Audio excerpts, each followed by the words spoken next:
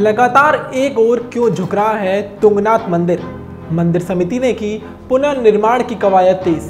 पाँच से छः डिग्री तक क्यों झुक गया मंदिर?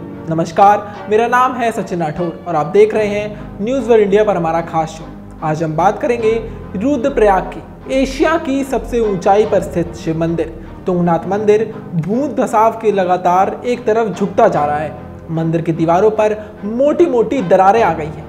जबकि मंदिर के सभा मंडप में छत से पानी रिस रहा है। स्थानीय तीर्थ पुरोहित लंबे समय से मंदिर के पुनर्निर्माण की मांग कर रहे हैं, लेकिन उनका कहना है कि यहाँ निर्माण कार्यों में वन अधिनियम आड़े आ रहा है, जिससे मंदिर का पुनर्निर्माण नहीं हो पा रहा। आइए आपको सुनाते हैं, क्या बोले तीर्थ पुरोहित।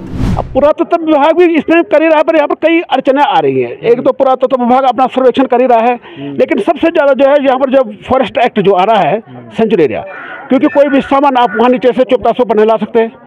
कई उसमें जो है वो करनी पड़ी है। कागज़ी कार्रवाई करनी। रिस रहा है कि हाँ, रिस रहा है रिस वो तो रिस रहा है। अभी नई क्षेत्र का निर्माण हुआ है पत्थर भी इस प्रकार आप देख देख रहे होंगे मंदिर जो है थोड़ा सा अभी मंदिर भी थोड़ा झुकाव की ओर बाई तो आप देख रहे हैं लेफ़्ट की ओर थोड़ा झुकाव की होता है जो तो ये जो आदिगुरु शंकराचार्य के द्वारा निर्मित है पांडवकालीन मंदिर है और इस प्रकार से जो है अब देखो ये इस प्रकार का हो हो रखा है। क्योंकि अब अगर परमिशन को यहाँ निर्माण कर ही नहीं सकते और परमिशन के लिए इतने पापड़ बेलने पड़ना है इतने औपचारिक- औपचारिकताएँ पूरी करनी पड़ती है आम आदमी इससे कर ही नहीं पाता। पंच केदारों में से एक तृतीय केदार भगवान तुंगनाथ मंदिर के पुनर्निर्माण को लेकर मंदिर समिति ने कवायद तेज कर दी है।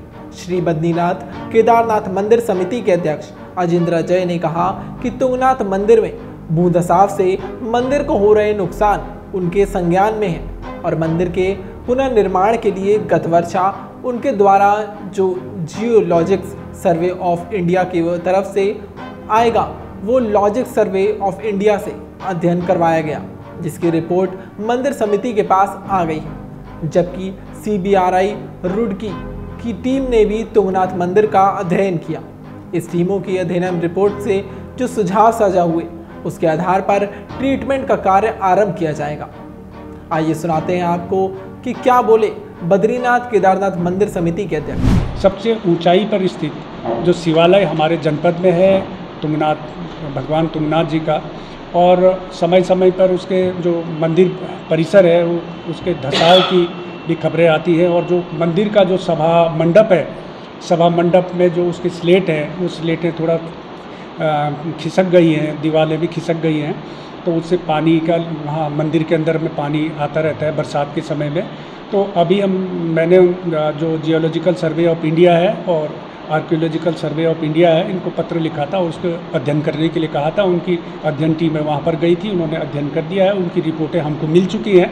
उसके अलावा मैंने सी अंतिम एक फाइनल उसके रिपोर्ट के लिए, अध्ययन के लिए सीबीआरआई रुड़की को भी पत्र लिखा था और सीबीआरआई रुड़की की टीम ने भी आकर के अभी दस पंद्रह दिन पूर्व वहाँ पर अध्ययन किया है। उनकी रिपोर्ट भी हमको शीघ्र ही प्राप्त हो जाएगी और जैसे उनके सुझाव होंगे, जो भी उनके सलाह होगी, उस सलाह के आधार पर हम जो भगवान तुंगनाथ के मंदिर का जो वहाँ पर जीर्णोद्धार कार्य होने हैं वो कार्य भी प्रारंभ करेंगे और उसके अलावा जो वहाँ पर भूधसाव या इस प्रकार की कोई समस्या आ रही है मंदिर परिसर का सौंदर्यीकरण कर, कर, करण करना है उसके लिए भी हम शीघ्र कार्य प्रारंभ कर देंगे। तृतीय केदार भगवान तुंगनाथ करोड़ों सनातनियों और हिंदुओं भक्तों की आस्था का केंद्र है। मंदिर के अस्तित्व पर बढ़ते संकट को लेकर श्रद्धालु भी चिंतित हैं। बहरहाल तुंगनाथ मंदिर का जीवनोद्धार जल्द होगा। और मंदिर समिति ने ऐसा भरोसा दिया कि ये काम जल्द कर दिया जाएगा। ऐसे अपडेट्स के लिए देखते रहिए न्यूज़ वन इंडिया।